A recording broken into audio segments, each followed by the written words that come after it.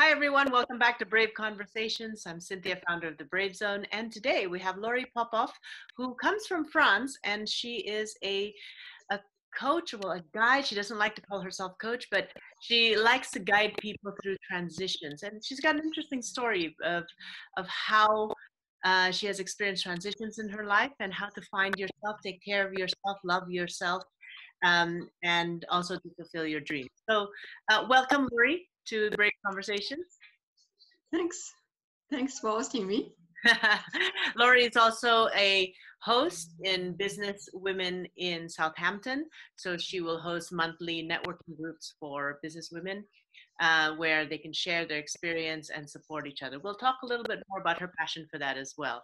So, why don't you tell mm-hmm. us a little bit about you um, and how you came to live in the UK? Okay. Um, so um, I will say my decision of uh, leaving France, uh, it was like um, uh, two years ago.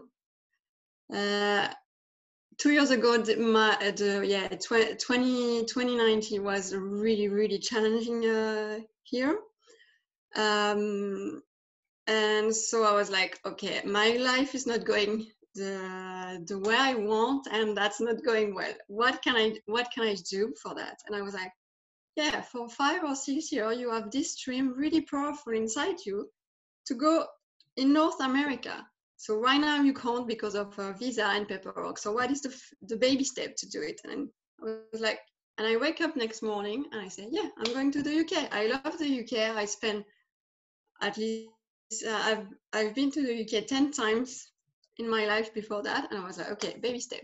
So i went to the uk i've done some volunteering. I i i spent time to rebuild myself and and to do the paperwork. So i get the visa to go to canada. And i spent um, five five months in canada. I love canada. I was that was amazing. And uh, so i start in bc in uh, British Columbia, and for three, three, four months anyway, and then I went in Ontario. Oh my God, so freaking cold there! I can't handle that. I can't handle. And as much as I love Canada and I really like the spirit, like I don't know, there is something really special, especially in BC. There is like a free spirit that I really, really like, and I feel so free and so like as a woman really like the freedom was really really big but bc was really nice but i feel like no it's not my place. So ontario was way too cold. And i said okay next next step i'm going to do like canadian people. I'm going to go to mexico. So that was amazing. I was like i arrived in mexico for the last uh, day of next uh, last year. And i spent three three weeks in a place like wow.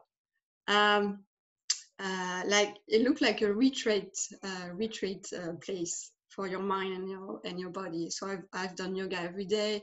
Um, no uh, solar energy only, so to charge the the phone that was crazy. No Wi-Fi. so that was yeah. I've never have that much time for myself, and sometimes I was like, okay, what I'm going to do and and then I've decided to come back to the UK for I will say for personal reason uh, because when I uh, last year I met uh, a man so I came back I came back for him and also because I feel like UK is more like the, the place I I was looking for. Well, it's not exactly the sunniest place in the world, but I guess it's not as cold as Ontario. Yeah. okay. Well, so transitions is kind of like your middle name here, you know? Uh, and funny that you decided, you know, we were talking a little bit about uh, how you didn't feel at home in your own country. And was this, uh, you know, moving around, was this part of your way of finding a home for yourself? Yeah, exactly. What what made you or when did you realize that you didn't feel at home in your own country and how did that feel like? Um, uh, when when I realized that, um, I think I realized that when after three years uh, living in in Paris, uh, I feel like uh, no, I I'm way too far from the the sea or the ocean. I grew up I grew up close to the ocean, so the the the ocean, the sea are really really important for me, for my my mind, for my my peacefulness is really really important. And Paris was re- way too far, and way too crowded for me even though I love Paris, the architecture or whatever, and my friends, I miss my friends so much. But and then I've moved close to the ocean, but that was too small. and also, and also I I feel like um,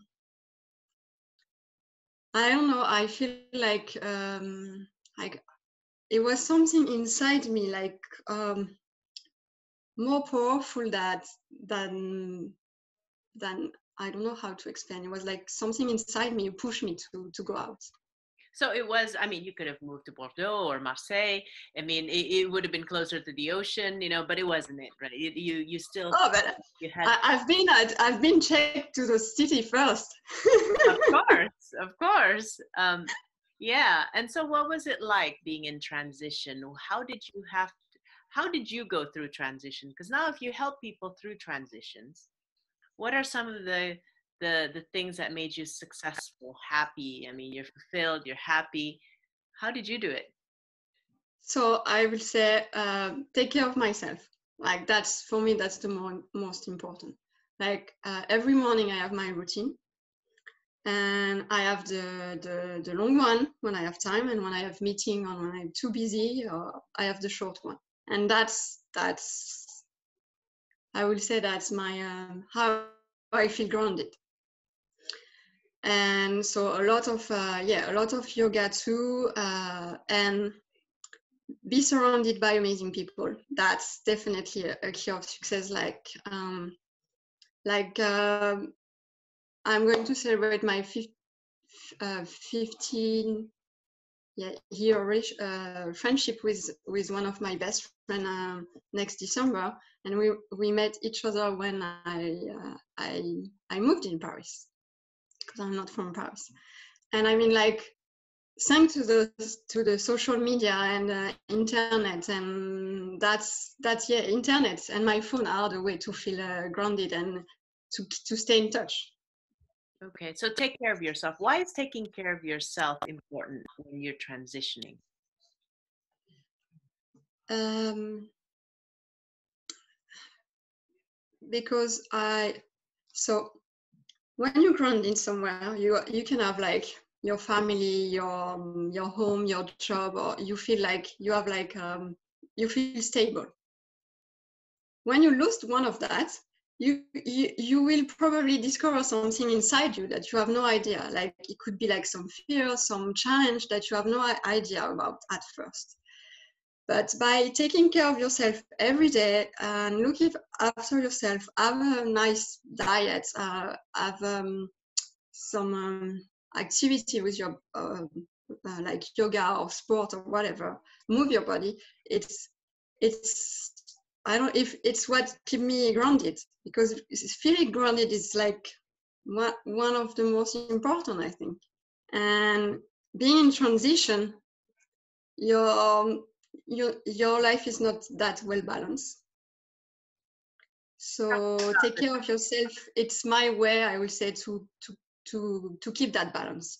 Right. I'm sure there's a lot of challenges that people like you and others uh, uh, feel when they're in transition. I, I, for one, have lived in multiple countries. I just moved to the UK about a year plus ago.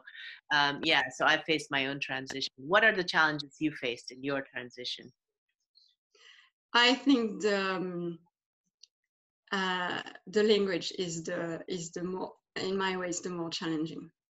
Mm-hmm. The language. Like, yeah, yeah, because I so I've learned English at school in a way. Then I moved to the UK and I and I follow uh, uh, English training again.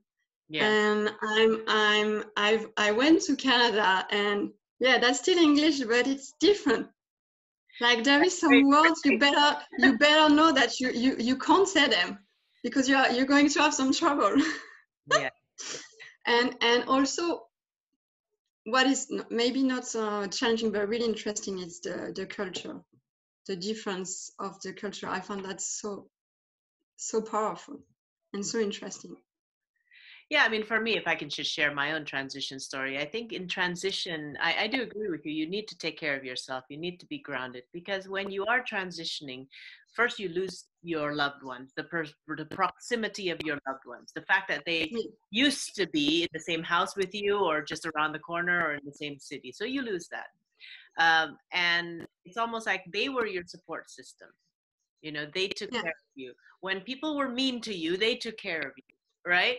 Uh, or when the world didn't go your way they they were oh that shoulder to cry on. And even though now we've got social media and whatsapp calls which makes everything super free it's not the same as just coming over for tea or something so yeah so having that grounding uh, uh, ritual to take care of yourself is very important especially when people start not ex- not yet been able to accept you just the way you are cultural differences is very interesting as well you know uh, in Asia, we do things a certain way, which is very different from British culture. And of course, British culture, uh, it, a lot of people, it, because they are British, they think that is the best culture, and, and not that's not necessarily true, you know. And and I remember for me, it was how to hold cutlery and how to eat. I mean, I thought I knew this stuff. You know, I used to I used to attend five star events and everything like that, VIP tables. I thought I knew this stuff. Apparently, I I I was rude. Apparently, I didn't know how to eat.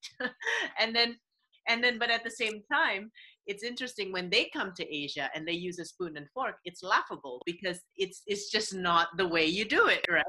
But of course, we don't necessarily correct foreigners uh, when they when they when they just don't do things our way. Whereas here, it feels like they love correcting foreigners uh, when things are not done yeah. the way. Um, but it's, yeah. it's, it's very it's very interesting. I thought, okay, I do need that support system.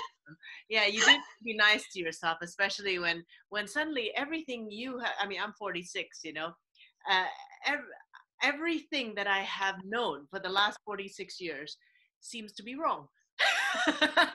yeah, yeah, I, I, I, I agree with that. like, like for example, since I've I've moved to the UK, I'm not driving. Yeah yeah it's it's could be silly because i'm able to go in mexico with my backpack on my own for six weeks without any trouble and here i'm not driving.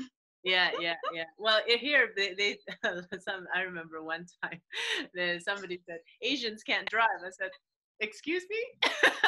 You know and but it's it's the other thing is is the it's a different type of driving because here everything is quite structured right? Whereas in Asia, you need eyes on the back of your head, and we are alert 100% of the time, or we mm. sometimes we just know how to weave into things. And but, but yes, adherence to rules is, is non-existent in Asia because there are no rules, you know, or at least the Asia that I come from. Um, but it's interesting also to to just overcome. So yes, in I do love uh, you know the the many things about the UK culture and everything. But yes, being in transition is difficult, isn't it? Both ways, mm. even if they're transitioning to, to live in my country, for instance. So, yes, grounding yourself, loving yourself, feeling good about yourself. Yeah. I know you have a second business. You have a second business that that that where it's all about waste, uh, zero waste cosmetics. Tell us more about that. How does that relate to taking care of yourself?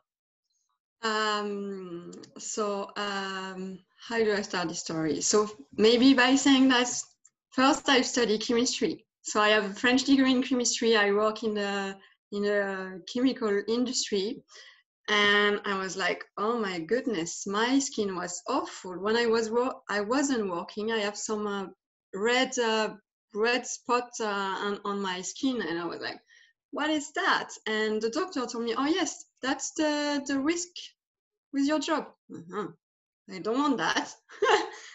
you know, that was like the time was I was a party girl in club every weekend. I don't want to have, have spots. And when I look after, I, I say, yeah, that's that's too dangerous. That's not what I want for my life. And and also I think it's linked by the fact that uh, I have some um, I I had a lot of uh, health issue when I was younger and I find some answer uh, with organic um, with organic products. And so I start with that. And one once I was in Paris and I heard in, in the radio that uh, in the UK, women are using around 500 in chemical ingredient daily for Yeah, cosmetics. I will count. For cosmetics. I'm going to go to my cabinet and I'm going to count how many hundreds. I'm And and and and I, I at first I was that's a big number, but I know it's true because just a perfume can can can can have 50 50 different ingredients. So I get rid about if I wasn't enough organic or whatever, I, I get rid of, of a lot. And then uh, I will say in France we are more into organic than when I've traveled in, in England at first and then in Canada, I noticed that zero waste is more important than organic. But for me, they are going together. It's like take, taking care of our, of, of our environment, of the nature. It's really, really important. That going with being grounded. Like, I mean, I don't want to be grounded in a, in a dirty place. Uh, so I want to be aware of uh, what I'm I'm buying. And and uh, so last year during my travel in the UK I struggling to find the product that I used to buy. So at first as a French huh, I will say that's the the stereo, the the stereotype of uh, French people I was complaining. So then I say okay I'm I'm going to stop complaining and I'm going to do it. So I I I uh, I've done a lot of research and I'm working with the with an English, uh, English uh, woman who uh, to make the, those products. And I'm designing the the brand and uh, that's yeah I, I love it. I love it. I think like I want to I want to show to women that beauty is not just about uh, putting makeup. Yes putting makeup it could be nice and if you like it go for it. But beauty, it's about bring up the light you have inside you and use and use uh, amazing cosmetics. Like I mean, I'm 36. People think that I'm 25 when they met me. So I think because I'm I, I having the yeah this organic and uh, uh, lifestyle, I would say way of doing it. It's it's working. So that's what I, I want to bring. Yeah, and definitely you're the perfect person to teach that because you've done it yourself, right? So yeah, transitions, taking care of yourself both physically as well as mentally, and, Yeah. and now you are dedicating your time to uh, host business women in in Southampton. What are you aiming to achieve? Uh, so what I want to achieve is to um, to bring to bring to women and to create like a team and I, I don't know like uh, how can I phrase that? Like in Paris I was part of a team like we met each other like I think twice a month or anyway and it was about okay um, how are you uh, where are you in your business? How do you feel? What are you challenging? What are you struggling? How we can support you? And how you told me how I feel by being in transition and and that team helped me a lot to go up to push myself to go out of my uh, comfort zone to to make my business be able to to to keep my my company six six years in France. So I mean I mean I I need that and I feel like yeah businesswoman in is, an amazing uh, group and team and the support is so powerful. And i feel like as a woman we have more challenging to be able to be a business owner. So where, when i start my journey to be an entrepreneur i was like "Hmm, i'm not going in, in those kind of group. That's sexist. And now i feel like no women we i think we need really different support. Yeah, interesting. And and I do agree with you. Business Women's an organization has been so supportive, and it's one of those things that there's no strings attached. You come, you network, membership is free. There's no obligations to do anything, and we just take care of each other. And I think it just all work, which is which is great. Yeah. Southampton. Uh, when are your meetings? Is it the first week, second week, or uh, uh, next week it's next week? So it's the third. Is the second week, isn't it? It's the second yeah Second week. Yeah, it's uh, yeah. Excellent. Wednesday, Wednesday next week. Wednesday, and second Wednesday of every month. Great, great. Yeah, you know, exactly. I know there's so much more you can share, and I really want to thank you for being here. And uh, Laury's going to come to my Bath meeting, my Business Women in Bath Yeah. next Tuesday, so right before her. So that's great, and she'll get to talk more. Apparently, she's got her coaching system, or sorry, not her coaching, her guidance system for people in transition. She doesn't want to be called a coach, which is fine.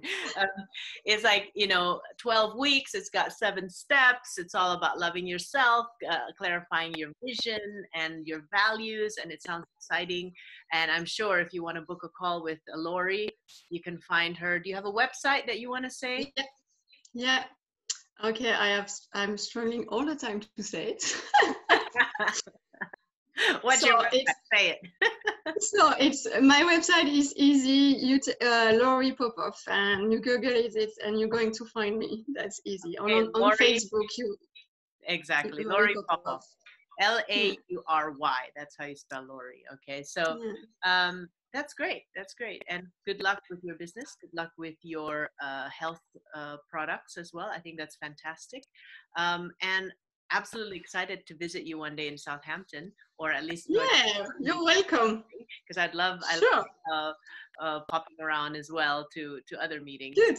So thank you so much for joining Brave Conversations. And for all of you who are wanting to get over your transitions uh, a little bit better, uh, dealing with self care, self love, uh, taking care of yourself physically as well, please feel free to contact uh, Laury for uh, some advice. Thank you very Thank much. you so Bye much. bye now. Thank you. Bye.